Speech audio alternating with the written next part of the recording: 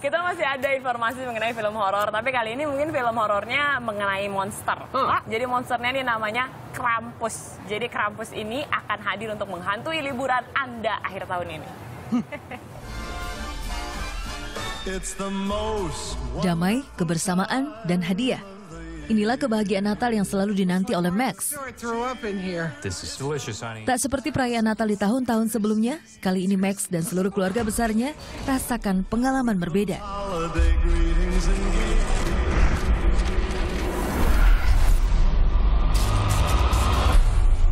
Tepat di malam Natal, listrik tiba-tiba padam.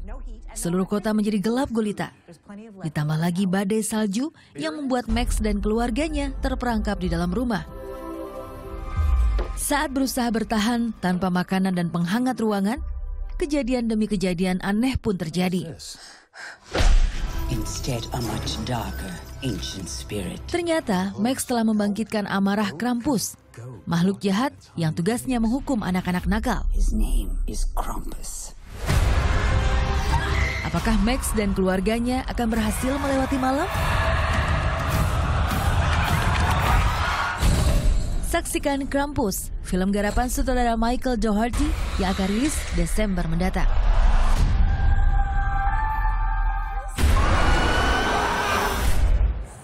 Nonton pasti. Harus, karena pastikan harus menjadi anak baik gitu, karena itu kan datangnya pas Natalan tuh. Betul. Jadi musuhnya Santa Claus. Nah, jadi kalau misalnya Shanas, Adria, atau Sena, kalau jadi Krampus yang datang. Tapi kalau masih seperti itu aja masih kecil, saya masih berani. Yakin. Coba nonton tuh, sendal bolong Oh, iya. atau iya, iya. beranak dalam kubur. Waduh. Nah, tuh, tuh Waduh. yang kayak begitu-begitu yang paling serem. Saya nggak ikutan kalau itu. Iya saya nggak ikutan, saya nggak ikutan. Sebetulnya kalau misalnya film-film gitu ada rasa penasaran pengen nonton tapi nggak bisa nonton sendiri dan nggak bisa malam hari gitu Bener. aja. Jadi pas lagi terang terus ada banyak orang jadi bisa Berani. tapi padahal serem juga gitu. Padahal Iya, serem ya. iya, Tapi ada satu lagi kalau saya suka juga eh, genre film horor itu yang memainkan em, pikiran gitu. Jadi seperti sudah keluar atau belum seperti trapped di dalam pikiran kita. Psychological thriller. Saya psychological thriller karena banyak em, Stephen King banyak nulis tentang itu kan. Iya. Ada The Shining, The Shining salah satunya. Ada 1408 itu yang main John Cusack itu juga seremnya minta ampun kalau menurut Yang saya. kunci itu ya? Iya, Hotel. dibanding dibanding ada setannya gitu Iya, ya, iya, iya, ada iya. monsternya.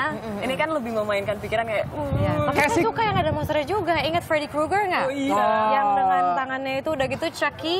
yes. Hi, I'm Chucky. Wanna play? Friday the 13 gitu. Ah udah ngomongin itu jadi serem. Mendingan kita olahraga bar aja deh ya. Boleh, boleh, Jadi karena boleh. sudah 90 menit kita bersama, jadi saatnya kami bertiga harus pamit dulu. Eh, Dan semua tayangan berita yang kami sajikan hari ini dapat Anda lihat kembali di www.youtube.com slash officialnetnews. Jangan lupa untuk mengawali hari dengan olahraga dan juga sarapan yang sehat. We'll see you again tomorrow. Bye-bye.